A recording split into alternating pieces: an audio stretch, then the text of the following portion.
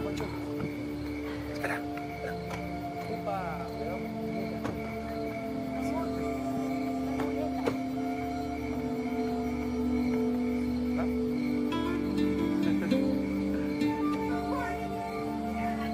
¡Bienvenido!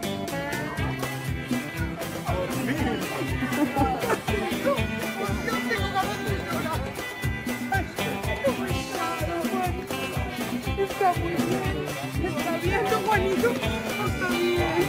Está bien.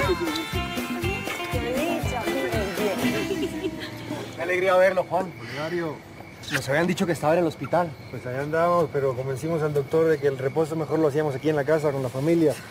¿Cómo la ve? Trataron de retenerlo, pero no, no pudieron convencerlo. ¿Y doña Gabriela cómo se encuentra? Está un poco delicada, Eva, pero gracias a Dios se está recuperando y está en el hospital. No, pero ya dejemos entrar a Juan. Imagínense cómo puede estar de cansado después de pasar noches y días sin comer, sin dormir. Por favor, ¿no? Bueno, ojalá fuera solo eso. Si lo tenemos acá es de puro milagro, muchachos.